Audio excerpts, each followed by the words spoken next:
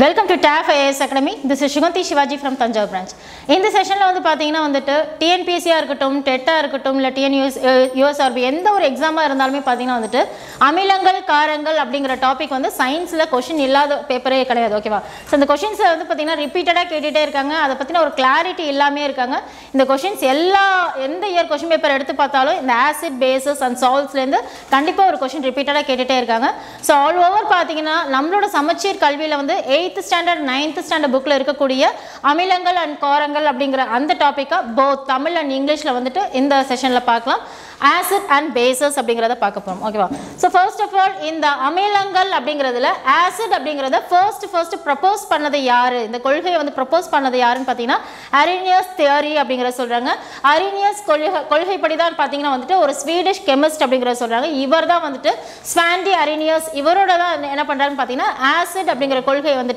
First first அதை வந்து introduce பண்ணுறாங்க அப்படிங்கிற சொல்கிறாங்க ஸோ எயிட்டீன் எயிட்டி ஃபோரில் ஸ்வீடன் நாட்டை சேர்ந்த ஸ்பான்டே அரேனியஸ். இவர் தான் வந்து பார்த்தீங்கன்னா இந்த கொள்கையை வெளியிடுறாங்க சொல்கிறாங்க ஸோ இவரோட டெஃபினேஷன் படி இவரோட கொள்கை என்ன சொல்ல வருதுன்னு பார்த்தீங்கன்னா அமிலங்கள் அப்படிங்கிறது அந்த வரையறை அப்படிங்கிறத சொல்கிறாங்க அந்த அமிலங்கள் அப்படிங்கிறது எதை சொல்கிறாங்கன்னு பார்த்தீங்கன்னா இட் இஸ் அ சப்ஸ்டன்ஸ் அதாவது எந்த ஒரு சப்ஸ்டன்ஸ் வந்துட்டு ஹைட்ரஜன் அயானையோ இல்லை ஹைட்ராக்சைல் அயானையோ வந்து கொடுக்குதுன்னா அதை தான் என்ன சொல்கிறாங்க ஆசிட் அப்படிங்கிறத சொல்கிறாங்க அதாவது நீரில் கரைந்து ஒரு பொருள் வந்து நீரில் கரைந்து ஹைட்ரஜன் அயனியோ இல்லை ஹைட்ராக்சில் அயனையோ தந்துச்சுன்னா அதை தான் என்ன சொல்கிறாங்க ஆசிட் அப்படிங்கிறத சொல்கிறாங்க ஓகேவா so acid means it is a substance அதாவது ஒரு அக்வஸ் சொல்யூஷனில் ஒரு நீரில் வந்து பார்த்தீங்கன்னா ஹைட்ரஜன் அயானையோ இல்லை ஹைட்ராக்சில் அயான் அப்படிங்கிற சொல்கிறாங்க ஸோ ஹைட்ரஜன் அயான் இந்த சென்ஸ் ஹெச் ப்ளஸ் அயானை கொடுக்கும். ஓகேவா ஸோ இந்த அயனியோ இல்லை ஹைட்ரானியம் அப்படின்னு சொல்லக்கூடிய இந்த ஹெச் த்ரீ ஓ ப்ளஸ் அப்படிங்கிறத சொல்கிறாங்க ஓகேவா ஸோ இந்த மாதிரி அயன்ஸை கொடுக்கக்கூடிய அந்த சப்ஸ்டன்ஸை தான் என்ன சொல்கிறாங்க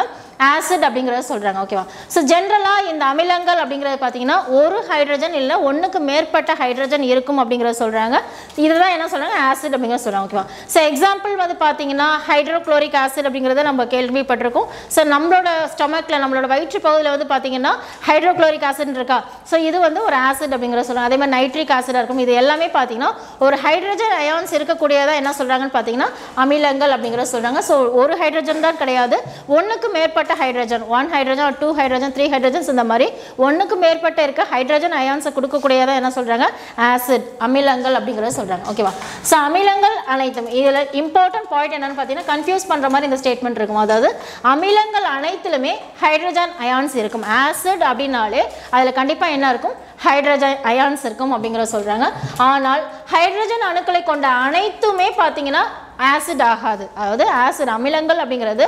ஹைட்ரஜன் அயான்ஸ் இருக்கக்கூடியதை நம்ம ஆசிட் அப்படிங்கிறத சொல்கிறோம் ஆனால் ஹைட்ரஜன் அயனிகளை இருக்கக்கூடிய எல்லாத்தையும் நம்ம ஆசிட்னு சொல்ல மாட்டோம். ஓகேவா ஸோ அதை தான் இங்கிலீஷில் என்ன சொல்கிறாங்க பார்த்தீங்கன்னா ஹைட்ரஜன் அயான்ஸ் இருக்கிறத ஆசிட் சொல்கிறாங்க but all the hydrogen atoms என்ன சொல்கிறோம் பார்த்தீங்கன்னா அது ஆசிட்னு சொல்ல மாட்டோம். ஓகேவா so for example ammonia NH த்ரீன்னு சொல்கிறோம்ல ஸோ இதை வந்து நம்ம ஆசிட்னு சொல்ல மாட்டோம் அப்படிங்கிறத சொல்கிறாங்க ஓகே ஸோ இந்த ஆசிடை வந்துட்டு இந்த அமிலங்களை வெவ்வேறு வகையாக பிரிக்கிறாங்க. ஓகேவா ஸோ எதன் அடிப்படையில் அதை பிரிக்கிறாங்கன்னு பார்த்தீங்கன்னா அந்த ஆசிட் எப்படி உருவாக்கப்படுது? ஓகேவா ஸோ அதை டிபெண்டிங் upon தி சோர்சஸ் அந்த சோர்ஸ் அடிப்படையில் பார்த்தீங்கன்னா ஆசிடை என்ன மாதிரி பிரிக்கலாம் அப்படிங்கிற சொல்கிறாங்க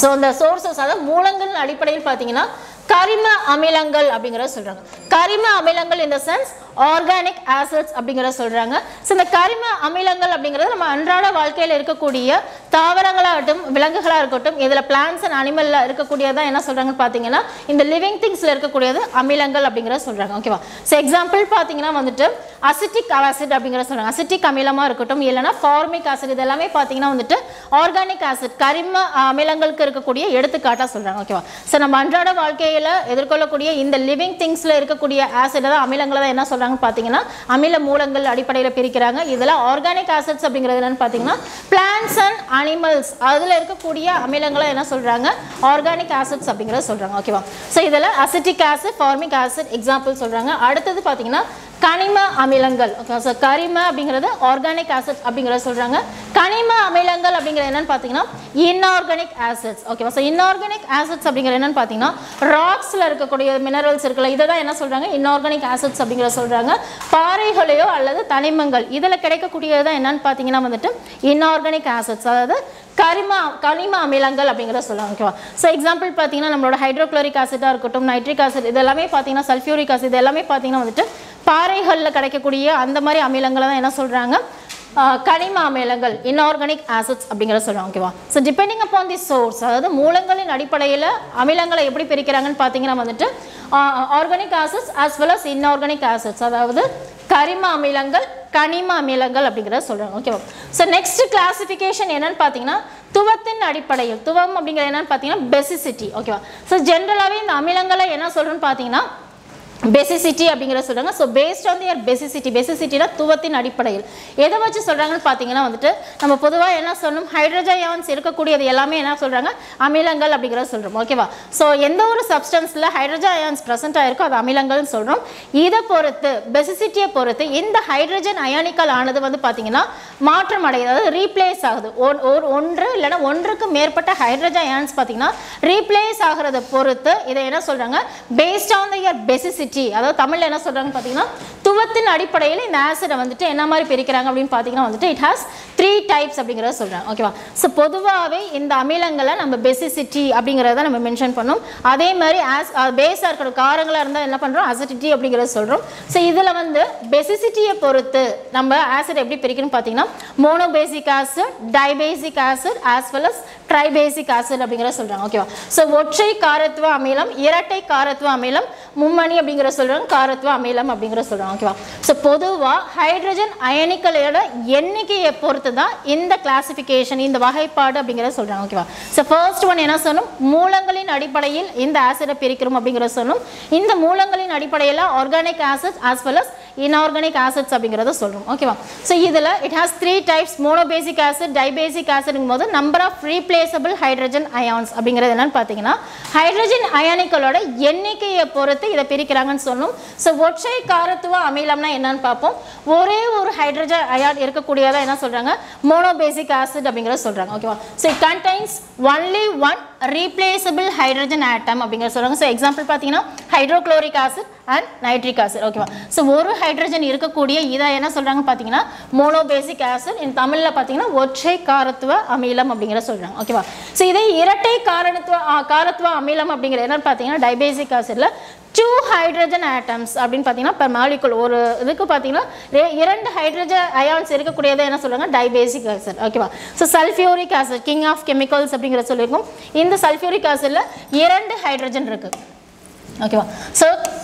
ஒரு ஹைட்ரஜன் இருந்தால் மோனோபேசிக் ஆசிட் இரண்டு ஹைட்ரஜன் இருக்கக்கூடியதை என்ன சொல்கிறாங்க டைபேசிக் ஆசிட் அதே மாதிரி வந்து பார்த்தீங்கன்னா கார்பானிக் அமிலம் ஹெச் டூ சிஓ த்ரீ அப்படிங்கிறத சொல்கிறாங்க இந்த கார்பானிக் அமிலத்தில் எத்தனை ஹைட்ரஜன் இருக்குன்னு பார்த்தீங்கன்னா number of replaceable hydrogen ions அப்படிங்கிறது ரெண்டு ஹைட்ரஜன் அயான்ஸ் இருக்குது ஸோ இதையும் என்ன சொல்கிறோம் டைபேசிக் ஆசிட் அப்படிங்கிறத சொல்கிறோம் இரட்டை காரத்துவ அமிலம் அப்படிங்கிறத சொல்கிறாங்க ஓகேவா so next thing is tribasic acid அப்படிங்கிறத சொல்கிறாங்க ட்ரைபேசிக் ஆசிட் இந்த சென்ஸ் மும்மை காரத்துவ அமிலம் அப்படிங்கிறத சொல்கிறாங்க ஓகேவா ஸோ இந்த பேர்லேயே பார்த்தீங்கன்னா ஒற்றை இரட்டை அப்படிங்கிறதுல பார்த்தீங்கன்னா number of replaceable hydrogen ions சொல்கிறாங்க அப்போது இந்த மும்மை காரத்துவ அமிலமில் எத்தனை பார்த்தீங்கன்னா மூன்று ஹைட்ரஜன் அயானிகள் பார்த்தீங்கன்னா ரீப்ளேசபிளாக இருக்கும் அப்படிங்கிறத சொல்கிறாங்க ஓகேவா ஸோ அதுக்கு எக்ஸாம்பிள் பார்த்தீங்கன்னா ஹெச் த்ரீ பிஓ ஃபோர் அதாவது ஃபாஸ்பாரிக் ஆசிட்னு சொல்கிறோம்ல ஸோ இந்த ஃபாஸ்பாரிக் அமிலத்தில் வந்து பார்த்தீங்கன்னா எத்தனை ஹைட்ரஜன் அயான்ஸ் இருக்குன்னு பார்த்தீங்கன்னா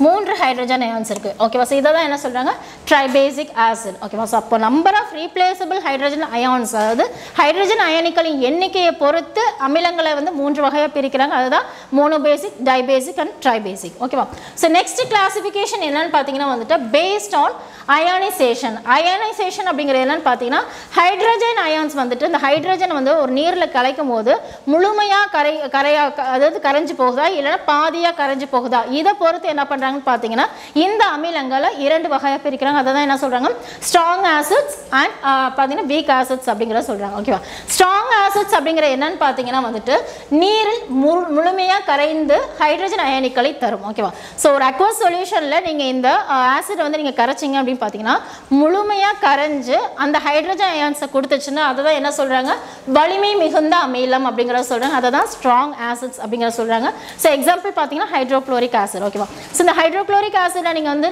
வாட்டர் அக்வஸ் சொல்யூஷன் நீங்கள் கரைக்கும் போது என்ன ஆகும் முழுமையாக ஹைட்ரோக்ளோரிக் ஆசிடை நீங்கள் கரைக்கும் போது முழுமையான ஹைட்ரஜன் அயான்ஸ் அப்படிங்கிறது வெளியில் வரும். ஓகே ஸோ இந்த அக்வஸ் சொல்யூஷனில் கரைக்கும் போது ஹைட்ரஜன் அயான்ஸ் வரும். இதை தான் என்ன சொல்கிறாங்க ஸ்ட்ராங் ஆசிட்ஸ் அப்படிங்கிறத சொல்கிறாங்க வலிமை மிகுந்த அமிலம். அது நெக்ஸ்ட் வந்து பார்த்தீங்கன்னா வீக் ஆசிட்ஸ் வீக் ஆசிட்ஸ் அப்படிங்கிற என்னென்னு பார்த்தீங்கன்னா முழுமையாக அந்த ஹைட்ரஜன் அயான்ஸ் வந்து என்னாகும் கரையாது. ஸோ பார்ஷியலாக பகுதியாக தான் பிரி கரையும் அப்படிங்கிற சொல்கிறாங்க இதை தான் என்ன சொல்கிறாங்க வீக் ஆசிட்ஸ் அப்படிங்கிற சொல்கிறாங்க ஸோ எக்ஸாம்பிள் பார்த்தீங்கன்னா CH three COOH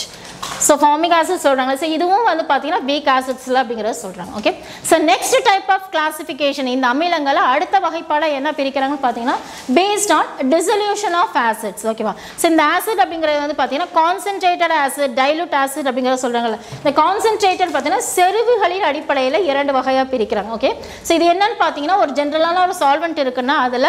large amount of acid வந்து டிசால்வ் ஆனிச்சுன்னா அதோட கான்சன்ட்ரேஷன் அதோட டென்சிட்டியை பொறுத்து என்ன ஆகுது? அதிக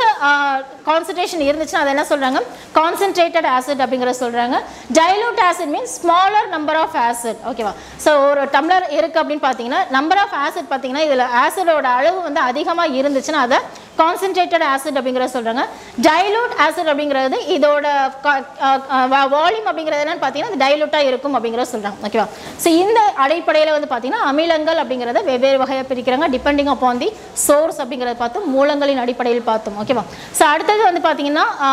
மோனோபேசிக் டைபேசிக் ட்ரைபேசிக் அந்த மாதிரி வந்து பார்த்தீங்கன்னா ஹைட்ரஜன் அயான்ஸ் ரீப்ளேஸ் ஆகிறத பொறுத்து நம்ம சொன்னோம். ஓகேவா ஸோ நெக்ஸ்ட் திங்கஸ் என்னன்னு பார்த்தீங்கன்னா பேஸ்ட் ஆன் இந்த strong acid and weak acid அப்படிங்கிறது பார்த்தீங்கன்னா அயனி உறுதலின் அடிப்படையில் வந்து பார்த்தீங்கன்னா இந்த ஆசிட்ஸ் அப்படிங்கிறத சொல்கிறாங்க ஸோ நெக்ஸ்ட் ஒன் பார்த்தீங்கன்னா based on dissolution of acids அதாவது concentrated acid as well as dilute acid அப்படிங்கிறத பார்த்தோம் ஓகேவா ஸோ இதுதான் என்னென்னு பார்த்தீங்கன்னா அமிலங்கள்னா என்ன? அமிலங்களை வெவ்வேறு வகைப்பாடு என்ன அப்படிங்கிறத சொல்கிறாங்க okay so next things we are going to see about the testing ஓகேவா ஸோ டெஸ்டிங் பார்க்கும்போது இதில் ஒரு ஆசிடா பேஸா அமிலமா காரமா கண்டுபிடிக்கிறதுக்கு வந்து பார்த்தீங்கன்னா வெவ்வேறு விதமான டெஸ்டிங் அப்படிங்கிறது இருக்கு. So first experiments litmus paper litmus தாள்னு ஒன்று இருக்கும். அந்த லிட்மஸ் பேப்பர் ஆனது வந்து பார்த்தீங்கன்னா இந்த ஆசிடை டிப் பண்ணி நீங்கள் போடும்போது அந்த லிட்மஸ் பேப்பர் தாள் வந்துட்டு நீல நிறமாக இருக்கிறது. என்ன கலராக மாறும் பார்த்தீங்கன்னா சிவப்பு கலராக மாறும். ஓகேவா ஸோ இதில் ரொம்ப கன்ஃபியூஸ் பண்ணிக்காதீங்க. ஏதாவது ஒன்றை வந்து ஸ்ட்ராங்காக மைண்டில் வச்சுக்கோங்க. ஸோ ஆசிட்னா ஆசிடை மைண்டில் வச்சுக்கோங்க. பேஸ்னா பேஸை மைண்டில் வச்சுக்கோங்க. ஓகேவா ஸோ ப்ளூ லிட்மஸ் பேப்பரை ரெட் லிட்மஸாக மாற்றினுச்சுன்னா அதை என்ன சொல்கிறாங்கன்னு பார்த்தீங்கன்னா ஆசிட் அப்படிங்கிறத சொல்கிறாங்க ஓகே ஸோ இது வந்து ஃபர்ஸ்ட் எக்ஸ்பிரிமெண்ட் நெக்ஸ்ட் ஒன் பார்த்தீங்கன்னா ஃபினாத்தலின் அப்படிங்கிறத சொல்கிறாங்க ஓகேவா ஸோ நம்ம ஜென்ரலாகவே நம்ம கெமிஸ்ட்ரி லேப்லலாம் வந்து பார்த்தீங்கன்னா இந்த ஃபினாத்தலின் டெஸ்ட் அப்படிங்கிறதெல்லாம் பண்ணியிருப்போம். ஸோ இந்த ஃபினாத்தலின் அப்படிங்கிறது வந்து பார்த்தீங்கன்னா ஒரு கலர்லெஸ்ஸாக இருக்கும். ஆசிடை வந்து நீங்கள் கலந்தீங்கன்னா கலர்லெஸ்ஸாக மாறும் அப்படிங்கிறத சொல்கிறாங்க okay so next things methyl orange அப்படிங்கிறத சொல்கிறாங்க ஓகே ஸோ மெத்தல் ஆரஞ்சை பொறுத்த வரைக்கும் மெத்தல் ஆரஞ்சு இல்லைன்னா பீட்ரூட் இருக்குல்ல. ஸோ இந்த பீட்ரூட்டோட கலர் வந்து பார்த்தீங்கன்னா பீட்ரூட்டோட ஜூஸ் கலர்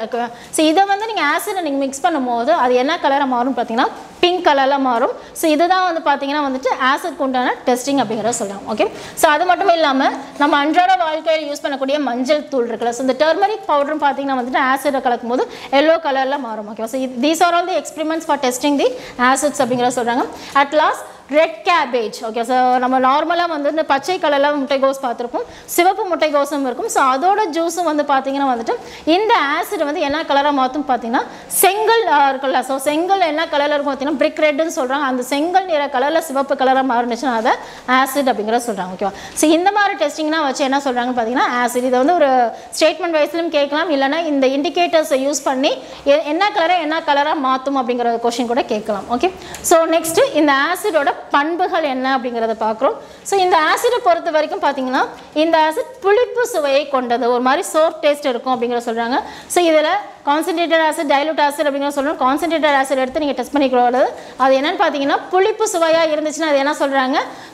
இதை வந்து ஆசிட் அப்படிங்கிறத சொல்கிறோம் ஓகே ஸோ இந்த வேர்ட் ஆசிட் அப்படிங்கிறதே வந்துட்டு எந்த மொழியிலேருந்து டிரைவ் பண்ணியிருக்காங்க பார்த்தீங்கன்னா it is derive from the Latin word acidus அப்படிங்கிற லாட்டின் வேர்ட்லேருந்து டிரைவ் பண்ணியிருக்காங்க. அந்த அசிடஸ் அப்படிங்கிறோட மீனிங் என்னன்னு பார்த்தீங்கன்னா வந்துட்டு சோர் டேஸ்ட் சோர் டேஸ்ட் அப்படிங்கிற என்னன்னு பார்த்தீங்கன்னா புளிப்பு சுவையை கொண்டு இருக்கிறது தான் என்ன சொல்கிறாங்க அசிடஸ் அப்படிங்கிற சொல்கிறாங்க அந்த அசிடஸ் அப்படிங்கிற வார்த்தை லத்தேன் வார்த்தையிலேருந்து வரையறை படுத்தப்பட்டதான் படுத்தப்பட்டதா என்னன்னு பார்த்தீங்கன்னா இந்த அமிலம் அப்படிங்கிற வார்த்தை ஆசிட் அப்படிங்கிற வார்த்தை. ஓகேவா so next thing is it is corrosive in nature அப்படிங்கிறத சொல்லியிருக்காங்க. ஓகே ஸோ ஜென்ரலாக நம்ம டாய்லெட் கிளீனிங்கெல்லாம் வந்து பார்த்தீங்கன்னா வந்துட்டு அதில் உள்ள கரைகள் எல்லாம் வந்து சுத்தமாகிறதுக்கு நம்ம ஆசிட்னா யூஸ் பண்ணல. ஸோ அது எப்படி அது போகுது பார்த்தீங்கன்னா அதில் என்னன்னு பார்த்தீங்கன்னா வந்துட்டு இந்த ஆசிட் என்னாகும்? அதை உள்ள இருக்க அழுக்கெல்லாம் என்னாகும்? அரிப்பு அரிக்கும் அப்படிங்கிற சொல்கிறாங்க ஓகேவா ஸோ ஆசிட்னாலே ஜென்ரலி என்னாகும்? It is corrosive in nature அரிப்புத்தன்மை கொண்டு இருக்கும் அப்படிங்கிறத சொல்கிறாங்க ஓகே ஸோ நெக்ஸ்ட் ப்ராப்பர்ட்டி என்னன்னு பார்த்தீங்கன்னா it is a good conductor of electricity அதாவது மின்சாரம் கடத்துறதுல முக்கியமான விஷயம் என்னன்னு பார்த்தீங்கன்னா இந்த ஆசிட் வந்து ஒரு பெஸ்ட் கண்டக்டராக யூஸ் ஆகுது. மின்சாரத்தை கடத்தும் தன்மை கொண்டது. ஸோ மின்சாரம் மட்டும் இல்லாமல் பார்த்தீங்கன்னா வெப்பத்தையும் கடத்தும் தன்மை கொண்டது எதுன்னு பார்த்தீங்கன்னா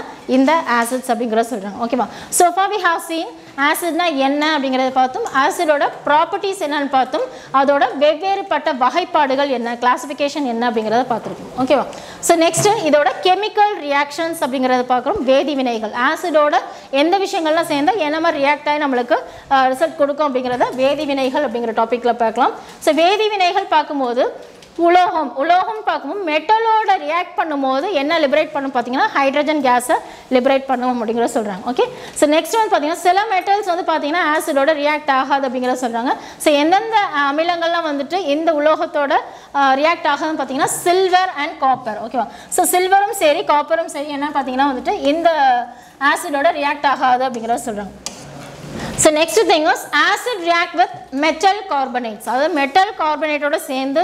என்ன ரிசல்ட் கிடைக்கும் பார்த்தீங்கன்னா நீரும் கார்பன் டை ஆக்சைடும் கிடைக்கும் அப்படிங்கிற சொல்கிறாங்க okay it gives water and carbon dioxide சொல்கிறாங்க ஸோ அப்போ உலோகத்தோட ரியாக்ட் பண்ணும்போது என்னென்ன வேதி வினைகளாக இருந்து நம்மளுக்கு என்ன ரிசல்ட் கொடுக்குறது அப்படிங்கிற சொல்கிறாங்க ஸோ ஃபர்ஸ்ட் வினாகும் உலோகத்தோட வினை புரிந்து என்ன கொடுக்கும் பார்த்தீங்கன்னா ஹைட்ரஜன் வாயுவை கொடுக்கும் சொல்கிறாங்க ஸோ எல்லா மெட்டல்ஸுமே வந்து ஆசிட் ரியாக்ட் ஆகாது. ஸோ எக்ஸப்ஷனாக வந்து பார்த்தீங்கன்னா சில்வராக இருக்கட்டும் இல்லை காப்பராக இருக்கட்டும். காப்பர் சொல்கிறது என்னன்னு பார்த்தீங்கன்னா இந்த தாமரம் அப்படிங்கிற சொல்கிறாங்க ஸோ இது வந்து உலோகத்தோட வினை புரியாது அப்படிங்கிறத சொல்கிறாங்க ஓகேவா ஸோ இதுவே ஒரு கொஷினாக கேட்கலாம். இந்த மெட்டல்ஸ் வந்து பார்த்தீங்கன்னா சில்வர் வந்து மெட்டலோட ரியாக்ட் ஆகும் அப்படிங்கிற மாதிரி கூட கேட்கலாம். ஓகேவா ஸோ இது இன்கரெக்ட் ஸ்டேட்மெண்ட் எது அப்படிங்கிற மாதிரி பிக் அவுட் பண்ணி கொடுக்க அந்த மாதிரி கொஷின்ஸும் கேட்கலாம். ஸோ நெக்ஸ்ட் ஒன் பார்த்தீங்கன்னா இந்த ஆசிட் வந்து மெட்டல் ஆக்சைடோட ரியாக்ட் பண்ணி என்ன கொடுக்கும் பார்த்தீங்கன்னா நீரை கொடுக்கும் அப்படிங்கிறத சொல்கிறாங்க ஓகே ஸோ இதெல்லாம் பார்த்தீங்கன்னா வேதி வினைகள் அப்படிங்கிறத சொல்கிறாங்க okay next we are going to see about the அமிலங்களோட uses என்னன்னு பார்க்க போகிறோம் ஓகே ஸோ இந்த பண்புகள் பார்க்கும்போது சோர் டேஸ்ட் அப்படின்றத சொல்லிக்கும். இதில் சல்ஃபியூரிக் ஆசிட் என்ன சொல்கிறாங்கன்னு பார்த்தீங்கன்னா வேதிப்பொருட்களின் அரசன். ஸோ ப்ரீவியஸாக சொன்ன மாதிரி தான் சல்ஃபியூரிக் ஆசிடை நம்ம என்ன சொல்கிறோம் கிங் ஆஃப் கெமிக்கல்ஸ் அப்படிங்கிறத சொல்கிறோம் கிங் ஆஃப் கெமிக்கல்ஸ் அப்படிங்கிறது கிங் அப்படிங்கிறது எதுக்காக நான் சொல்கிறாங்க பார்த்தீங்கன்னா நிறைய விஷயங்கள் நிறைய அப்ளிகேஷனுக்கு வந்து பார்த்தீங்கன்னா இந்த கெமிக்கல் ரியாக்ஷன் பண்ணுறதுக்கு எதை யூஸ் பண்ணுறாங்க பார்த்தீங்கன்னா சல்ஃபியூரிக் ஆசிடை தான் யூஸ் பண்ணுறாங்க ஸோ இதனால தான் இதை என்ன பண்ணுறாங்க சல்ஃபியூரிக் ஆசிடை என்ன சொல்கிறோம் கிங் ஆஃப் கெமிக்கல்ஸ் அப்படிங்கிறத சொல்கிறாங்க ஓகேவா ஸோ அது அது மட்டும் இல்லாமல் நம்ம நாட்டினோட பொருளாதாரத்தை தீர்மானிக்கிறதுக்கே வந்து பார்த்தீங்கன்னா இந்த சல்ஃபியூரிக் ஆசிட் வந்து ரொம்பவே ஹெல்ப் பண்ணுது அப்படிங்கிறத சொல்கிறாங்க அப்போலாம் எந்த அளவுக்கு அதோட நெசசிட்டி இருக்குது டிமாண்ட்ஸ் இருக்குது அப்படிங்கிறத பார்த்துக்கோங்க ஓகே ஸோ நெக்ஸ்ட் ஒன் பார்த்தீங்கன்னா nitric acid so nitrogen nitric acid வந்து பார்த்தீங்கன்னா உரங்கள் நிறைய தயாரிக்க பயன்படுகிறது அப்படிங்கிற சொல்கிறாங்க ஸோ ஃபர்டிலைசர்ஸை மேனுஃபேக்சர் பண்ணுறதுக்கு இந்த நைட்ரிக் ஆசிட் யூஸ் ஆகுது. ஸோ அது மட்டும் இல்லாமல் அமோனியாவை மேனுஃபேக்சர் பண்ணுறதுக்கும் சரி இந்த நைட்ரிக் ஆசிட் அப்படிங்கிறது யூஸ் ஆகும் ஓகே ஸோ அது மட்டும் இல்லாமல் நம்ம நார்மலாக டைஸ் யூஸ் பண்ணுறோம்ல ஸோ இந்த க கருணையில் சாயம்னா யூஸ் பண்ணுறோம் அந்த சாயமாக இருக்கட்டும் பெயிண்ட்டாக இருக்கட்டும் எல்லா விஷயத்துலையும் வந்து பார்த்தீங்கன்னா அதே மாதிரி மருத்துவ குணத்துக்கும் வந்து பார்த்தீங்கன்னா இந்த நைட்ரிக் ஆசிடை வந்து நம்ம யூஸ் பண்ணுறாங்க அப்படிங்கிறத சொல்கிறோம் okay so next thing is hydrochloric acid hydrochloric acid பார்த்தீங்கன்னா நம்ம உடலில் நடக்கக்கூடிய பல மாற்றங்களுக்கு வந்து பார்த்தீங்கன்னா இந்த மெட்டபாலிக் சேஞ்சஸ்க்கு எது ரொம்ப ஹெல்ப்ஃபுல்லாக இருக்குன்னு பார்த்தீங்கன்னா இந்த ஹைட்ரோக்ளோரிக் ஆசிட் தான் அப்படிங்கிறத சொல்கிறாங்க ஸோ நம்ம ஸ்டமக்கில் கூட செக்ரீட் ஆகக்கூடிய அந்த ஆசிட் எதுன்னு பார்த்தீங்கன்னா ஹைட்ரோக்ளோரிக் ஆசிட் ஓகேவா ஸோ அப்போ பசி எடுக்கும் போது நம்மளுக்கு ஒரு மாதிரி வயிறு வயிறில் என்ன ஆகும்? ஒரு மாதிரி சவுண்டு கேட்குற மாதிரி இருக்கும். உறைவு தன்மை இருக்கிற மாதிரிலாம் இருக்கும். இந்த ஆசிட் செக்ரேட் ஆகுதுன்னா சொல்கிறல ஸோ அந்த நேரத்தில் தான் என்ன ஆசிட் செக்ரேட் ஆகும் பார்த்தீங்கன்னா ஹைட்ரோக்ளோரிக் ஆசிட் அப்படிங்கிற சொல்கிறாங்க ஸோ இந்த நேரத்தில் நம்ம உணவை கரெக்டாக எடுத்துக்காதனால தான் நம்மளுக்கு என்ன ஆகுது? அசிடிட்டி ஃபார்ம் ஆகுது அல்சர் ஃபார்ம் ஆகுதுன்னு சொல்கிறாங்க ஸோ இதுதான் என்ன ஆசிட் பார்த்தீங்கன்னா ஹைட்ரோக்ளோரிக் ஆசிட் அப்படிங்கிற சொல்கிறாங்க ஓகேவா ஸோ இனிமேல் பசி எடுக்குது அப்படின்னா என்ன சொல்லணும் நீங்கள் ஹைட்ரோக்ளோரிக் ஆசிட் செக்ரேட் ஆகுது அப்படிங்கிறத நம்மளுக்கும் விஷயம் தெரிஞ்சது அப்படிங்கிற மாதிரி நம்ம காட்டிக்கலாம் ஓகே ஸோ இது நெக்ஸ்ட் ஒன் ஹைட்ரோக்ளோரிக் ஆசிட் என்னன்னு பார்த்தீங்கன்னா வந்துட்டு கிளென்சிங் ஏஜென்ட்டாக டாய்லெட்ஸில் வந்து பார்த்தீங்கன்னா கழிவறைகளை வந்து பார்த்தீங்கன்னா இந்த ஹைட்ரோக்ளோரிக் ஆசிடை யூஸ் பண்ணுறாங்க அப்படிங்கிறத சொல்லலாம் okay so next thing is hydrofluoric acid hydrofluoric acid பார்த்தீங்கன்னா நான் பொதுவாக சொன்னேன் இந்த அமிலங்கள் அப்படிங்கிறது அரிப்புத்தன்மை கொண்டு இருக்கும் அப்படிங்கிறத சொன்னேன்னா ஈவன் கண்ணாடி பொருட்களை கூட கரைய வைக்கக்கூடிய தன்மை எதுக்குன்னு இருக்குன்னு பார்த்தீங்கன்னா இந்த அமிலத்துக்கு இருக்குது ஸோ அதுக்கு எக்ஸாம்பிள் தான் என்னென்னு பார்த்தீங்கன்னா ஹைட்ரோஃப்ளோரிக் அமிலம் அப்படிங்கிறத சொல்கிறாங்க okay so next citric acid citric acid அப்படிங்கிறது பார்த்தீங்கன்னா உணவை பதப்படுத்துறதுக்கு நம்ம யூஸ் பண்ணுறோம் அப்படிங்கிற சொல்கிறாங்க பென்சாயிக் ஆசிட் பென்சாயிக் ஆசிடும் பார்த்தீங்கன்னா அதுவும் உணவை ப பதப்படுத்துறதுக்கு யூஸ் பண்ணுறாங்க ஸோ என்னமா சோடியம் பென்சாயேட்டாக வந்து கன்வெர்ட் பண்ணி அது உணவை வந்து பதப்படுத்துறதுக்கு யூஸ் பண்ணுறாங்க அப்படிங்கிறத சொல்கிறாங்க தான் ஓகேவா ஸோ நார்மலாக இந்த நம்ம ஊறுகாயாக இருக்கட்டும் இந்த மாதிரி ரொம்ப நாள் வந்து பேக்கேஜ் ஃபுட்ஸாக இருக்குல்ல ஸோ அதெல்லாம் வந்து உணவை பதப்படுத்துறதுக்கு எதை யூஸ் பண்ணுறாங்கன்னு பார்த்தீங்கன்னா இந்த பென்சாயிக் ஆசிட் தான் யூஸ் பண்ணுறாங்க okay so next carbonic acid carbonic acid இப்போ நம்ம நார்மலாக பெப்சி கோகோ கோலா எது எடுத்தாலுமே உள்ளுக்குள்ள ஒரு வாயு நிறைந்த ஒரு திரவம் இருக்கும்ல அதுதான் என்னென்னு பார்த்தீங்கன்னா இந்த ஏரேட்டட் ட்ரிங்க்ஸ்க்கு எதை யூஸ் பண்ணுறாங்கன்னு பார்த்தீங்கன்னா இந்த கார்போனிக் ஆசிட் அப்படிங்கிறத சொல்கிறாங்க okay so next tartaric tartaric acid அப்படிங்கிற என்னன்னு பார்த்தீங்கன்னா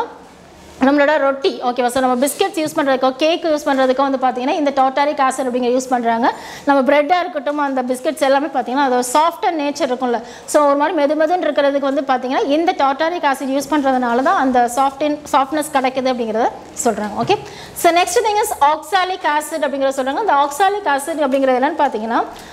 நம்ம குவாட்ஸ் கிறிஸ்டல் இருக்கும்ல. ஸோ இதில் வந்து பார்த்தீங்கன்னா அதில் இருக்கக்கூடிய மாசுக்களை மெக்னீஷியமோட படி படிவமாக இருக்கட்டும் அதே மாதிரி அயன் இருக்குல்ல அயனோட இரும்போட படிவமாக இருக்கட்டும் இது எல்லாத்தையும் க்ளீன் பண்ணுறதுக்கு அந்த மாசுவை சுத்தம் பண்ணுறதுக்கு வந்து பார்த்தீங்கன்னா இந்த ஆக்சாலிக் அமிலத்தை வந்து யூஸ் பண்ணுறாங்க அப்படிங்கிறத சொல்கிறாங்க ஸோ நெக்ஸ்ட் ஒன் பார்த்தீங்கன்னா ஈவன் நம்மளோட மர மரம் இருக்குல்ல அந்த மரத்தை கூட ப்ளீச் பண்ணுறதுக்கு வந்து இந்த ஆக்சாலிக் ஆசிடை யூஸ் பண்ணுறாங்கன்னு சொல்கிறாங்க so also it removing black stains ஓகேவா ஸோ முகத்தில் உள்ள கரும்புள்ளிகளை நீக்கிறதுக்கு வந்து எதை யூஸ் பண்ணுறாங்க ஆக்சாலிக் ஆசிட் ஓகேவா ஸோ ஜென்ரலாக நம்ம விமன்ஸ் நிறைய பேர் பார்த்துருப்பீங்க ஓகேவா ஸோ ஃபேஸில் உள்ள அந்த கரும்புள்ளி இருக்கிறதுக்காக தக்காளியில் என்ன பண்ணுவாங்கன்னு பார்த்தீங்கன்னா ஹாஃபாக ஸ்லைஸ் பண்ணி அதில் ஜீனியை தடவி முகத்தில் தடவிப்பாங்க ஓகேவா ஸோ இந்த தக்காளியில் வந்து பார்த்தீங்கன்னா இந்த ஆசிட் இருக்கிறதுனால தான் ஃபேஸில் உள்ள கரும்புலிகள்லாம் போகும் அப்படிங்கிறத சொல்கிறாங்க okay so next thing is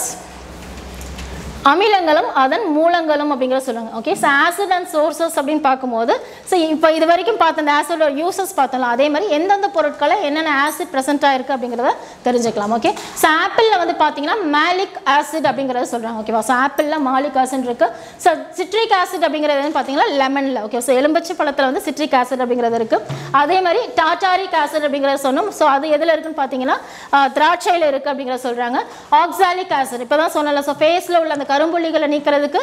tomato தக்காளி தடவரம் சொல்கிறாங்க அந்த டொமேட்டோவில் என்ன இருக்குன்னு பார்த்தீங்கன்னா ஆக்சாலிக் ஆசிட் இருக்குன்னு சொல்கிறாங்க நெக்ஸ்ட் வினேகர் வினேகர் அப்படிங்கிற என்ன பார்த்தீங்கன்னா நம்ம உணவு பதப்படுத்துறதுக்கு யூஸ் பண்ணுறோம்னு சொல்கிறோம்ல ஸோ பென்சாயிக் ஆசிடாக இருக்கட்டும் அசிட்டிக் ஆசிடாக இருக்கட்டும் இதெல்லாம் வந்து எதுக்கு யூஸ் பண்ணுறாங்கன்னு பார்த்தீங்கன்னா உணவு பதப்படுத்துறதுக்காக யூஸ் பண்ணுறாங்க ஸோ இந்த வினேகரில் இருக்கக்கூடியது என்ன ஆசிட்னு பார்த்தீங்கன்னா அசிட்டிக் ஆசிட் அப்படிங்கிறத சொல்லலாம். Okay so next thing is பால். பால் அப்படின்னு பார்க்கும்போது லாக்டிக் ஆசிட் அப்படிங்கிறத சொல்கிறாங்க இந்த பால் தயிர் அதில் எல்லாத்துலேயும் பார்த்தீங்கன்னா அசிட்டிக் ஆசிட் அப்படிங்கிறது இருக்குது ஸோ அடுத்தது பார்த்தீங்கன்னா ஆரஞ்சு ஆரஞ்சில் என்ன இருக்குன்னு பார்த்தீங்கன்னா அஸ்காபிக் ஆசிட் இருக்குது ஓகேவா so next one is tea டீயில் என்ன ஆசிட் இருக்குன்னு பார்த்தீங்கன்னா இந்த தேநீரில் வந்து டானிக் ஆசிட் அப்படிங்கிறத சொல்கிறாங்க அடுத்தது ஸ்டொமக் ஜூஸ் ஓகேவா சார் ப்ரீவியஸாக சொன்னதான் சார் நம்ம வயிற்று பகுதியில் இருக்கக்கூடிய ஆசிட் என்னன்னு பார்த்தீங்கன்னா ஹைட்ரோக்ளோரிக் ஆசிட் அட் லாஸ்ட் பார்த்தீங்கன்னா இந்த ஆண்ட் பி இதெல்லாம் பார்த்தீங்கன்னா ஃபார்மிக் ஆசிட் அப்படிங்கிறத சொல்கிறாங்க ஓகேவா ஸோ அந்த ஆண்ட் அப்படிங்கும்போது எறும்பு இருக்குல்ல ஸோ எறும்பு கடிச்சாலோ நம்மளுக்கு தேனி கொட்டினாலும் வந்து பார்த்தீங்கன்னா நம்மளுக்கு வீக்கம் ஏற்படுதில்லை இந்த வீக்கம் ஏற்படுறதுக்கு காரணம் என்னென்னு பார்த்தீங்கன்னா அதோட கொடுக்கல என்ன இருக்கும் பார்த்தீங்கன்னா இந்த ஃபார்மிக் ஆசிட் இருக்கிறதுனால தான் ஓகேவா ஸோ இந்த ஃபார்மிக் ஆசிட் இருக்கும்போது நம்மளுக்கு வந்து என்னாகும் அந்த இடத்துல பல்ஸ்டாக வீக்கம் இருக்கும். அந்த ஆசிடை வந்து நம்ம நியூட்ரலைஸ் பண்ணும்போது நம்ம உடனே என்ன பண்ணுவாங்க? உப்பு தடவாங்களா ஸோ பெரியவங்க என்ன பண்ணுவாங்க? உப்பு தடவாங்க இல்லை வெங்காயம் தடவாங்க இது எதுக்குன்னு பார்த்தீங்கன்னா நியூட்ரலைஸ் பண்ணுறதுக்கு அதாவது ஒரு அமிலத்தோட ஒரு காரத்தை சேர்த்து என்ன பண்ணுவாங்க? அதை நியூட்ரலைஸ் பண்ணிவிட்டு அது வீக்கம் வந்து வடியும் ஓகேவா ஸோ பேண்ட்டு பி இதெல்லாம் என்ன ஆசிட் இருக்குன்னு பார்த்தீங்கன்னா ஃபார்மிக் ஆசிட் இருக்கு okay so next we are going to see about காரங்கள் பேசஸ்னா என்ன அப்படிங்கிறத பார்த்தோம் ஓகேவா ஸோ இதுக்கு முன்னாடி வரைக்கும் என்ன பண்ணோம்? ஆசிட்னா என்ன அப்படிங்கிற பார்த்தோம். ஸோ ஆசிட் அப்படிங்கிறது அசிடஸ் அப்படிங்கிற லத்தீன் வார்த்தையிலேருந்து டிரைவ் பண்ணது தான் ஆசிட் அப்படிங்கிறத சொன்னோம். ஸோ இந்த அசிடஸ் அப்படிங்கிறோட மீனிங் என்னன்னு பார்த்தீங்கன்னா புளிப்பு சுவை சோர் டேஸ்ட் அப்படிங்கிறத சொன்னோம் ஓகேவா ஸோ இந்த ஆசிடை வெவ்வேறு வகைப்பாடாக எப்படியெல்லாம் பிரித்தாங்க அப்படிங்கிறது டிஃப்ரெண்ட் டைப்ஸ் ஆஃப் கிளாஸிஃபிகேஷன் அப்படிங்கிறத பார்த்தோம். அடுத்தது அதோட பண்புகள் என்ன அப்படிங்கிறத பார்த்தோம் okay so next we are going to see about the bases அப்படிங்கிறத சொல்கிறோம் ஸோ இந்த பேசஸ் அப்படிங்கிறது என்னன்னு பார்த்தீங்கன்னா ஆசிடில் எப்படி ஹைட்ரஜன் அயானிக்களை தருதோ அதே மாதிரி ஹைட்ராக்சில் அயனாக தரக்கூடியது எதுன்னு பார்த்தீங்கன்னா இந்த காரங்கள் அப்படிங்கிறத சொல்கிறாங்க ஸோ இதில் ஓஹெச் அயான்ஸ் தரும் தரதான் என்ன சொல்கிறாங்க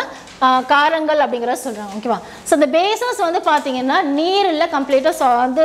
கரையும் அப்படிங்கிறத சொல்கிறாங்க ஸோ அதை என்ன சொல்கிறாங்கன்னு பார்த்தீங்கன்னா எரிஹாரம் அப்படிங்கிறத சொல்கிறாங்க ஓகேவா ஸோ அதை என்ன சொல்கிறாங்க இங்கிலீஷில் ஆல்கலிஸ் அப்படிங்கிறத சொல்கிறாங்க இந்த bases that completely soluble in water it is called as alkalis அப்படிங்கிறத சொல்கிறாங்க ஸோ நீரில் முழுமையாக கரைந்து ஹைட்ராக்சைல் அயனிகளை தருமாயின் அதற்கு எரிகாரங்கள் என்று பெயர். ஓகே ஸோ இதில் நான் என்ன ப்ரீவியஸாக ஆசிட் என்ன சொன்னோம்? ஆசிட்னாலே எல்லாம் ஹைட்ரஜன் அயன்ஸ் இருக்கக்கூடியது ஆசிட் சொல்கிறோம் பட் ஹைட்ரஜன் அயன்ஸ் இருக்கக்கூடியது எல்லாமே ஆசிட் ஆகாதுன்னு சொன்னோம். அதே மாதிரி ஆல் ஆல்கலிஸ் ஆர் பேசஸ் ஓகேவா but not all bases are alkalis so இதோட வே- விஷயம் என்னன்னு பார்த்தீங்கன்னா எரிகாரங்கள் அனைத்தும் காரங்கள் ஆகும் ஓகேவா ஸோ எரிகாரங்கள் எல்லாமே காரங்கள் ஆகும் ஆனால் காரங்கள் அனைத்தும் எரிகாரங்கள் ஆகாது ஓகேவா ஸோ இந்த ஸ்டேட்மெண்ட்டை ரீப்ளேஸ் பண்ணி ரீப்ளேஸ் பண்ணி கேட்பாங்க ஓகேவா ஸோ இந்த ஆல்கலிஸ் என்ன சொன்னோம்? இந்த காரங்கள் வந்து கம்ப்ளீட்டாக வாட்டர் நீரில் கரைஞ்சிச்சுன்னா அதை தான் என்ன சொல்கிறாங்கன்னு பார்த்தீங்கன்னா நீரில் கரைந்து ஹைட்ராக்சல் அயன்ஸை தரக்கூடியதாக என்ன சொல்கிறாங்க காரங்கள் அப்படிங்கிறத சொல்கிறோம் ஸோ இந்த எரிகாரங்கள் அப்படிங்கிறது என்னென்னு பார்த்தீங்கன்னா எல்லா எரிகாரங்களுமே பேசஸ் அதாவது காரங்களாக இருக்கும். ஆனால் எல்லா காரங்களும் எரிகாரங்கள் ஆகாது. இதுதான் ஸ்டேட்மெண்ட் ஓகே ஸோ நெக்ஸ்ட் இந்த ஆல்கலஸ் அப்படிங்கிற வார்த்தை எந்த வார்த்தையிலேருந்து டிரைவ் பண்ணப்படுதுன்னு பார்த்தீங்கன்னா அரபிக் வார்த்தை ஆல்கலஸ் அப்படிங்கிறத சொல்கிறாங்க இந்த அரபிக் வார்த்தை என்னென்னு மீனிங் படுதுன்னு பார்த்தீங்கன்னா வுட் ஆஷ் மர சாம்பல் அப்படிங்கிறத சொல்கிறாங்க ஓகே ஸோ அதில் எப்படி சோர் டேஸ்ட் அப்படிங்கிறத சொல்லணுமோ அதே மாதிரி மர சாம்பல் இந்த பேஸ் அப்படிங்கிறது ஆல்கலஸ் அப்படிங்கிறது என்னன்னு பார்த்தீங்கன்னா மர சாம்பல் அப்படிங்கிற வார்த்தைக்கு தான் மீனிங் அப்படிங்கிறத சொல்கிறாங்க okay so next thing is sodium carbonate potassium carbonate இதெல்லாம் வந்து பார்த்தீங்கன்னா இந்த மரச்சாம்பல்லேருந்து கிடைக்கக்கூடிய பொருட்கள் அப்படிங்கிறத சொல்கிறாங்க ஓகே ஸோ இந்த காரங்கள் அப்படிங்கிறது என்னன்னு பார்த்தீங்கன்னா பொதுவாக கார்பனேட்டாக தான் இருக்கும். இது என்னன்னு பார்த்தீங்கன்னா மற்ற கார்பனேட்டோட வினை புரியாது ஓகேவா ஸோ பொதுவாகவே காரங்கள் ஆனது வந்து பார்த்தீங்கன்னா கார்பனேட்ஸாக தான் இருக்கும். மற்ற அதனால் என்னாகும்? மற்ற கார்பனேட் அயான்ஸோட இது என்னாகாது? வினை புரியாது. கெமிக்கல் ரியாக்ஷன் பார்த்தீங்கன்னா மற்ற கார்பனேட் அயான்ஸோட வினை புரியாது அப்படிங்கிறத சொல்கிறாங்க ஓகே ஸோ ஆசிட் எப்படி வந்து வெவ்வேறு வகைப்பாடாக பார்த்தோமோ அதே மாதிரி வந்து பார்த்தீங்கன்னா காரங்களும் வந்து பார்த்தீங்கன்னா டிஃப்ரெண்ட் டைப்ஸ் ஆஃப் கிளாஸிஃபிகேஷன் அப்படிங்கிறத சொல்கிறாங்க ஸோ அது மூலங்கள் அடிப்படையில் வந்து ஃபர்ஸ்ட் பார்த்தோம். இதில் என்னன்னு பார்த்தீங்கன்னா வந்துட்டு நான் சொன்னது மாதிரி தான். ஆசிட்னா என்னென்னா டிபெண்ட்ஸ் அப்போ வந்து பெசிசிட்டி பெசிசிட்டியை பொறுத்து நம்ம அமிலங்களை பிரிக்கிறோம் அதே மாதிரி காரங்களை என்ன பிரிக்கணும் பார்த்தீங்கன்னா வந்து துவத்தின் அடிப்படையில் பார்த்தீங்கன்னா பேஸ்ட் ஆன் தி அசிடிட்டி அப்படிங்கிறத சொல்லணும் ஓகே ஸோ இந்த அசிடிட்டியை பொறுத்த வரைக்கும் பார்த்தீங்கன்னா அந்த அசிடிட்டியில் வந்து பார்த்தீங்கன்னா number of hydroxyl ions so ஆசிடில் பார்த்தீங்கன்னா ஒன் ஆர் மோர் ஹைட்ரஜன் அயான்ஸை ரீப்ளேஸ் பண்ணுற மாதிரி இருக்கக்கூடியதை மோனோ ஆசிட் டைபே டயாசிட் அது மாதிரி சொல்லலாம். அதே மாதிரி காரத்தை பொறுத்த வரைக்கும் ஹைட்ராக்சில் அயான்ஸாக ஒன்று இல்லைன்னா ஒன்றுக்கு மேற்பட்ட ஹைட்ராக்சில் அயான்ஸை ரீப்ளேஸ் பண்ணுற மாதிரி இருக்கிறத பொறுத்து நம்ம இந்த பேசஸை வந்து என்ன மாதிரி பிரிக்கணும் பார்த்தீங்கன்னா வந்துட்டு த்ரீ டைப்ஸாக பிரிக்கிறோம் ஓகேவா ஸோ அந்த மூன்று வகை தான் என்னன்னு பார்த்தீங்கன்னா ஒற்றை அமிலத்துவ காரம் அப்படிங்கிறதும் இரட்டை அமிலத்துவ காரம் மும்மை அமிலத்துவ காரம் அப்படிங்கிறத சொல்லணும். Mono acidic base diacidic base as well as tri triacidic base அப்படிங்கிறத சொல்கிறாங்க ஓகே ஸோ இந்த மோனோ டை ட்ரை அப்படின்னாலே என்ன ஆகுது ஒன்று அப்படின்னா மோனோ டைனா இரண்டு ட்ரைனா மூன்று ஓகே ஸோ ஒன் ஒரு ஹைட்ராக்சில் அயன்ஸை ரீப்ளேஸ் பண்ண அதை என்ன சொல்கிறாங்க மோனோ ஒற்றை அமிலத்துவ காரம் அப்படிங்கிற சொல்கிறாங்க ஸோ இதற்கு எடுத்துக்காட்டு பார்த்தீங்கன்னா சோடியம் ஹைட்ராக்சைடு ஓஹெச் அயான்ஸை தருது ஓகேவா ஸோ நெக்ஸ்ட் இரட்டை அமிலத்துவ காரம் அப்படிங்கிறது பார்த்தீங்கன்னா இரண்டு ஹைட்ராக்சல் அயான்ஸை ரீப்ளேஸ் பண்ணுற மாதிரி இருக்கும் அப்படி சொல்கிறாங்க so F E two O H three next one பார்த்தீங்கன்னா மும்மை அமிலத்துவ காரமில் மெக்னீஷியம் ஹைட்ராக்சல் அதாவது it contains two or more replaceable hydroxyl இருந்து அயான்ஸ் இருந்துச்சுன்னா அதை என்ன சொல்கிறாங்க மும்மை அமிலத்துவ காரம் அப்படிங்கிறத சொல்கிறாங்க ஓகே ஸோ அடுத்த வகைப்பாடு என்னன்னு பார்த்தீங்கன்னா பேஸ்ட் ஆன் அயானிசேஷன் அயானிசேஷன் என்ன சொன்ன? அயனி உறுதலின் அடிப்படையில் வலிமை மிகுந்த வலிமை குறைந்த அதாவது strong base as well as weak base அப்படிங்கிறத சொல்கிறாங்க ஸோ முழுமையாக கரையக்கூடியது நீரில் அக்வஸ் சொல்யூஷனில் வந்து முழுமையாக கரைஞ்சா அதை என்ன சொல்கிறாங்க ஸ்ட்ராங் பேஸ் சொல்கிறாங்க பகுதியாக பார்ஷியலாக பிரிஞ்சா அதை என்ன சொல்கிறாங்க வீக் பேஸ் அப்படிங்கிறத சொல்கிறாங்க ஓகே ஸோ அடுத்தது பார்த்தீங்கன்னா செறிவுகளின் அடிப்படையில் பார்த்தீங்கன்னா பேஸ்ட் ஆன் தி கான்சன்ட்ரேஷன் பார்த்தீங்கன்னா concentrated base as well as dilute alkalis dilute alkalis இந்த சென்ஸ் டைலூட் பேஸ் அப்படிங்கிறத சொல்கிறாங்க ஓகே ஸோ ப்ரீவியஸாக அந்த ஆசிடில் எப்படி டெஸ்ட் பண்ணுமோ அதே மாதிரி இதுலேயும் பாருங்கன்னா பேசஸில் லிட்மஸ் தாளை வந்து பார்த்தீங்கன்னா சிவப்புலேருந்து நீளமாக மாற்றும் ஓகே ஸோ ஆசிடாக இருந்தால் அமிலமாக இருந்தால் என்ன சொன்னோம்? நீல நிறத்துலேருந்து சிவப்பாக மாற்றினுச்சுன்னா அது அமிலம் அப்படிங்கிறத சொன்னோம். காரம் அப்படிங்கிறது என்னென்னு பார்த்தீங்கன்னா சிவப்பு நிறத்துலேருந்து நீல நிறத்துக்கு மாறும் அப்படிங்கிறத சொல்கிறாங்க ஓகே ஸோ ஃபினாத்தலினை பொறுத்த வரைக்கும் இளஞ்சிவப்பு அதே ஆசிட்ல என்ன சொல்லணும் இட் கலர்லெஸ் அப்படிங்கிற சொல்கிறோம் ஓகே ஸோ நிறமற்றதாக இருக்கும். ஆனால் இந்த பேஸை பொறுத்த வரைக்கும் ஃபினாத்தலினா பிங்க் கலராக மாற்றும் அப்படிங்கிற சொல்கிறாங்க ஓகே ஸோ மெத்தல் ஆரஞ்சு அப்படிங்கிறது பீட்ரூட் சாரை மஞ்சள் கலரில் மாற்றும் அப்படிங்கிற சொல்கிறாங்க ஓகேவா ஸோ பேஸ் காரம் அப்படிங்கும்போது மஞ்சள் கலரில் மாற்றும் டர்மரிக் பவுடர் சிவப்பு நிறத்தில் மாறும். ஓகேவா ஸோ டர்மரிக் பவுடர் பார்த்தீங்கன்னா சிவப்பு நிறத்தில் மாறும் அப்படிங்கிறத சொல்கிறாங்க ஓகே ஸோ நெக்ஸ்ட் சிவப்பு முட்டை கோசாறு வந்து பார்த்தீங்கன்னா பச்சை கலரில் மாறும் அப்படிங்கிறத சொல்கிறாங்க ஓகே ஸோ இந்த மஞ்சள் தூளை பொறுத்த வரைக்கும் நம்ம எக்ஸாம்பிள் வந்து பார்த்தீங்கன்னா நம்ம ஆராத்தினா எடுப்போம்ல. ஸோ ஆராத்தி எடுக்கும்போது என்ன பண்ணுறாங்கன்னு பார்த்தீங்கன்னா குங்குமம் வச்சு அதில் சுண்ணாம்பனா கலக்கிறாங்களா ஸோ அப்போ அந்த மஞ்சள் போடும்போது அது என்ன கலரில் மாறும்னு பார்த்தீங்கன்னா சிவப்பு கலரில் மாறும். இதுதான் என்னன்னு பார்த்தீங்கன்னா பேஸ் காரம் இருக்குன்னு சொல்லுவாங்க சுண்ணாம்பில் என்ன இருக்குது கால்சியம் ஹைட்ராக்சைடு இருக்கா? ஸோ அந்த கால்சியமில் ஹைட்ராக்சைட்னா ஹைட்ராக்சைடு அயான்ஸ் இருக்கிறதுனால அந்த காரத்தினால தான் என்ன ஆகுது மஞ்சள் போட்டோட என்ன ஆகுது அது ரெட் கலரில் மாறுது அப்படிங்கிறத சொல்கிறாங்க ஓகே ஸோ இதோட பண்புகள் அப்படிங்கிறத பார்க்குறோம். ஸோ கசப்பு சுவை கொண்டது பிட்டர் இன் டேஸ்ட் அப்படிங்கிறத சொல்கிறாங்க இதோட நேச்சர் எப்படி இருக்குன்னு பார்த்தீங்கன்னா வந்துட்டு வளவளப்பு தன்மை இருக்கும்? ஓகே ஸோ இந்த சோப்புலாம் இருக்குல்ல ஸோ சோப்பில் எப்படி வளவளப்பு தன்மை இருக்குமோ அதே மாதிரி வந்து பார்த்தீங்கன்னா இது வந்துட்டு தாவர எண்ணெய் அதாவது சோப்பு இருக்க மாதிரியே இது என்னாகும்? வளவளப்பு தன்மையாக இருக்கும் அப்படிங்கிறத சொல்கிறாங்க ஸோ அது மட்டும் இல்லாமல் அதிகமான கான்சன்ட்ரேட்டட் பேஸ் இருந்து இருக்கும் பட்சத்தில் என்னாகும்? இந்த காரமானது பார்த்திங்கன்னா அரிப்புத்தன்மை கொண்டு இருக்கும்னு சொல்கிறாங்க ஓகே ஸோ நார்மலான இருக்க அது வந்துட்டு ஆசிடை பொறுத்த வரைக்கும் அரிப்புத்தன்மை இருக்கும்னு சொல்கிறாங்க காரத்தை பொறுத்த வரைக்கும் பார்த்தீங்கன்னா அதிகமான கான்சன்ட்ரேஷன் இருக்கக்கூடிய அந்த பேசஸ் தான் வந்து பார்த்தீங்கன்னா கரோசிவ் நேச்சராக இருக்கும் அப்படிங்கிறத சொல்கிறாங்க okay so similar to that acid மாதிரியே எந்த காரங்களும் வந்து பார்த்தீங்கன்னா மின்சாரத்தை கடத்தும் சொல்கிறாங்க நல்ல வெப்ப கடத்தியாகவும் இருக்கும் சொல்லுவாங்க ஸோ எலக்ட்ரிசிட்டியும் சரி அதேமாதிரி ஹீட்டையும் சரி இந்த பேசஸ் அப்படிங்கிறது கண்டக்ட் பண்ணும் அப்படிங்கிறத சொல்கிறாங்க ஓகே நெக்ஸ்ட்டு கெமிக்கல் ரியாக்ஷன்ஸ் அப்படிங்கிறத பார்க்குறோம். ஸோ இது வந்து பார்த்தீங்கன்னா சிமிலர் டு தட் ஆசிடில் இருக்க மாதிரியே இதுவும் வந்து உலோகத்தோட வினை புரிந்து ஹைட்ரஜன் அயான்ஸை தருது. ஸோ நெக்ஸ்ட் வந்து பார்த்தீங்கன்னா சில அலோகங்கள் சோடியம் ஹைட்ராக்சைடுடன் வினை புரிவதில்லை. ஓகே ஸோ சோடியம் ஹைட்ராக்சைடு இந்த சென்ஸ் பார்த்தீங்கன்னா அதோட வினை புரிவதில்லை அப்படிங்கிறத சொல்கிறாங்க ஓகே ஸோ அதில் சில்வர் காப்பர் பார்த்தோமா? அதே மாதிரி இதில் சில்வர் காப்பர் குரோமியம் இதெல்லாம் வந்து பார்த்தீங்கன்னா சோடியம் ஹைட்ராக்சைடோட வினை புரியாது. இந்த காரம் வந்து சோடியம் ஹைட்ராக்சைடோட வினை புரியாது அப்படிங்கிறத சொல்கிறாங்க ஓகே ஸோ இது என்ன ப்ரீவியஸாக சொல்லும் அமிலங்கள் வந்துட்டு ஆல்ரெடி கார்பனேட்டாக இருக்கிறதுனால இது மற்ற கார்பனேட்டோட என்ன ஆகுது வினை புரியாதுன்னு சொல்லுமா? அதை தான் இங்கே சொல்லியிருக்கும். It does not react with other carbonates அப்படிங்கிறத சொல்கிறாங்க okay so next one is it react with metal oxides and gives water metal oxides அப்படிங்கும்போது உலோக ஆக்சைடுகளோட வினை புரிந்து என்ன கொடுக்கும் பார்த்தீங்கன்னா தண்ணீரை கொடுக்கும். ஹெச் ஓவை கொடுக்கும் அப்படிங்கிறத சொல்கிறாங்க ஓகே ஸோ நெக்ஸ்ட் இதோட யூசஸ் பார்க்கும்போது சோடியம் ஹைட்ராக்சைடு என்ன சொல்கிறோன்னு பார்த்தீங்கன்னா காஸ்டிக் சோடா அப்படிங்கிறத சொல்கிறாங்க அதே மாதிரி காஸ்டிக் பொட்டாஷ்னா எதை சொல்கிறோம் பொட்டாசியம் ஹைட்ராக்சைடு அப்படிங்கிற சொல்கிறோம் ஓகேவா ஸோ இந்த இரண்டத்தோட கலவை வந்து எதுக்கு யூஸ் ஆகுதுன்னு பார்த்தீங்கன்னா சோப்பு உருவாக்குறதுக்கும் சரி அதே மாதிரி காகிதங்களை உருவாக்குறதுக்கும் சோடியம் ஹைட்ராக்சைடும் பொட்டாசியம் ஹைட்ராக்சைடு சொல்லக்கூடிய இந்த caustic soda as well as caustic potash அப்படிங்கிறது வந்து எதுக்கு யூஸ் ஆகுதுன்னு பார்த்தீங்கன்னா இந்த பேப்பர் ப்ரொடியூஸ் பண்ணுறதுக்கும் சோப்பு ப்ரொடியூஸ் பண்ணுறதுக்கும் யூஸ் ஆகுதுன்னு சொல்கிறாங்க okay so next one is calcium hydroxide அப்படிங்கிற சொல்கிறாங்க ஸோ சுண்ணாம்பு வெள்ளை அடிக்கிறதுன்னு சொல்கிறோம்ல ஸோ இந்த வெள்ளை அடித்தலுக்கும் சரி அதே மாதிரி வந்து பார்த்தீங்கன்னா இண்டஸ்ட்ரீஸ் தொழிலகங்கள்லேருந்து வெளியேறக்கூடிய அந்த மாசு நிறைந்த நீரை வந்து பார்த்தீங்கன்னா சுத்திகரிக்கிறதுக்கும் சரி கால்சியம் ஹைட்ராக்சைடு யூஸ் ஆகுது அப்படிங்கிறத சொல்கிறாங்க நெக்ஸ்ட் ஒன் இஸ் மெக்னீஷியம் ஹைட்ராக்சைடுன்னு சொல்கிறது பார்த்தீங்கன்னா வந்துட்டு வயிறு சம்மந்தமான பிரச்சனைகளுக்கு இந்த ஸ்டொமக்கில் இந்த அசிடிட்டி ப்ராப்ளம் வர்றதுக்கெல்லாம் வந்து ரெக்கவர் பண்ணுறது எதுன்னு பார்த்தீங்கன்னா மெக்னீஷியம் ஹைட்ராக்சைடு அப்படிங்கிறத சொல்கிறாங்க ஓகே ஸோ ஜென்ரலாக நம்மளுக்கு அசிடிட்டி இருக்கும்போது நம்ம லிக்விடாக வாங்கி சாப்பிட்றோம் அதே மாதிரி டேப்லெட்ஸ் எடுத்துக்கிறோம்ல இதில் எது இருக்குன்னு பார்த்தீங்கன்னா மெக்னீஷியம் ஹைட்ராக்சைடு தான் இருக்கும் அப்படிங்கிறத சொல்கிறாங்க நெக்ஸ்ட் அமோனியம் ஹைட்ராக்சைடு அப்படிங்கிறது என்னன்னு பார்த்தீங்கன்னா நம்ம ட்ரெஸ்ஸில் வந்து படுற அந்த கரைகளை வந்து அகற்றுறது எதுன்னு பார்த்தீங்கன்னா அமோனியம் ஹைட்ராக்சைடு அப்படிங்கிறத சொல்கிறாங்க ஓகே சார் லாஸ்ட்டாக ஒரு கான்செப்ட் பார்ப்போம். அக்வாரிஜியா. அக்வாரீஜியா அப்படிங்கிற என்னன்னு பார்த்தீங்கன்னா ராஜ திரவகம் அப்படிங்கிறது சொல்கிறாங்க ராஜ திரவகம் என்னென்னு பார்த்தீங்கன்னா வந்துட்டு அக்வாரிஜியா அப்படிங்கிற அந்த வார்த்தை வந்து பார்த்தீங்கன்னா இது ஒரு லத்தீன் வார்த்தை. அக்வா ரீஜியா அதில் வந்து பார்த்தீங்கன்னா regal water or royal water royal water இந்த சென்ஸ் பார்த்தீங்கன்னா வந்துட்டு ராஜ திரவகம் அப்படிங்கிறத சொல்கிறாங்க ஸோ இதை தான் என்ன சொல்கிறாங்க அமிலங்களில் கிங் ஆஃப் ஆசிட் அப்படிங்கிறத சொல்கிறாங்க கிங் ஆஃப் கெமிக்கல்ஸ் அப்படிங்கிறது சல்ஃபியூரிக் ஆசிடில் வரும். கிங் ஆஃப் ஆசிட் அப்படிங்கிறது எதை சொல்கிறாங்க பார்த்தீங்கன்னா அக்வாரீஜியா அப்படிங்கிறத சொல்கிறாங்க ஸோ இந்த அக்வாரீஜியாவில் பொறுத்த வரைக்கும்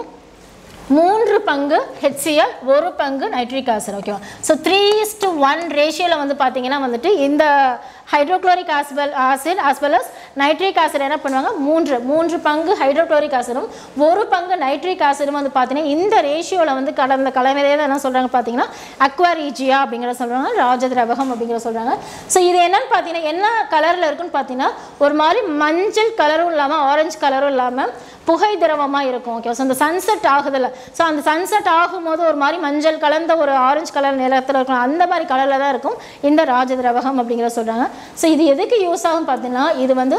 தங்கத்தையும் சரி அதேமாதிரி பிளாட்டினம் பலேடியம் அப்படின்னு சொல்லக்கூடிய இந்த விஷயங்களை வந்து பார்த்தீங்கன்னா வந்துட்டு கரைக்கக்கூடிய தன்மையை கொண்டு இருக்கும் அப்படிங்கிறத சொல்லுவாங்க. It is special liquid which can dissolve noble metals like gold platinum and palladium அப்படிங்கிறத சொல்கிறாங்க ஓகேவா so far we have seen that ஆசிட்னா என்ன பேசஸ்னால் என்ன அமிலம் காரம் அப்படிங்கிறத சொல்லியிருக்கோம். ஸோ அமிலம்னா என்ன அப்படிங்கிற வரையறையும் அதோட பண்புகளும் அந்த அமிலங்களை கண்டுபிடிக்கிறது அதோட வேதி வினைகள் எப்படி இருக்கும் அமிலங்கள் எதுவும் கண்டுபிடிக்கிறதுக்கு லிட்மஸ் தாளாக இருக்கட்டும் ஃபினாத்தலாக இருக்கட்டும் மெத்தில் ஆரஞ்சு அதே மாதிரி பீட்ரூட் ஜூஸ் இந்த மாதிரி நிறைய எக்ஸாம்பிள்ஸ் வச்சு பார்த்தோம். அதே மாதிரி பேசஸ் காரங்கள் அப்படிங்கும்போது ஹைட்ராக்சல் அயான்ஸை தரக்கூடியதாக என்ன சொல்கிறாங்க பேசஸ் அப்படிங்கிறத சொல்கிறாங்க ஓகேவா ஸோ இந்த பேசஸோட பண்புகள் எப்படி இருக்கும்? அதோட எக்ஸாம்பிள்ஸ் என்ன? அதோட அப்ளிகேஷன்ஸ் என்ன? அந்த பேசஸ் அந்த காரத்தை கண்டுபிடிக்கிறதுக்கு உண்டான எக்ஸ்பிரிமெண்ட்ஸ் அதாவது லிட்மஸ் தால் ஃபினாப்தனி என்ன நிறமாக மாறும் அப்படிங்கிறத இந்த லெசனில் ஃபுல்லாகவே பார்த்தோம். ஸோ எயித் அண்ட் நைன்த் ஸ்டாண்டர்டில் இருக்கக்கூடிய அந்த கண்டென்ட்ஸ் எல்லாத்தையும் கம்பைன் பண்ணி தான் இதில் கொடுத்துருக்கோம். ஸோ இதில் வந்து எந்த டவுட்டும் இல்லாமல் ஏதாவது ஒரு விஷயத்தை நீங்கள் நினப்பிச்சிட்டிங்கனாலே அமிலமாக நினப்பிச்சிட்டிங்கனாலே காரத்தை உண்டான விஷயங்கள் வந்து உங்களுக்கு ஆட்டோமேட்டிக்காக மைண்டில் வந்துடும் hope you all understood thank you